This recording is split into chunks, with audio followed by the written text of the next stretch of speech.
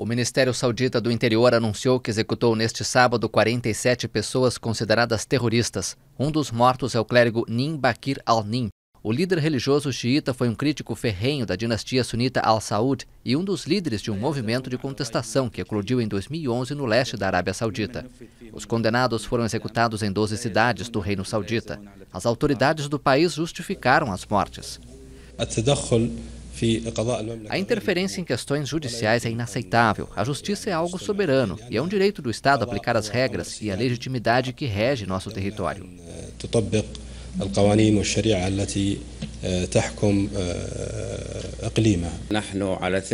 Estamos totalmente confiantes no que fazemos e no que acreditamos. O Irã, potência xiita, cujas relações com a Arábia Saudita são tensas, imediatamente reagiu às execuções, prometendo que Riad pagará um alto preço pela morte do cheque Nin al-Nin.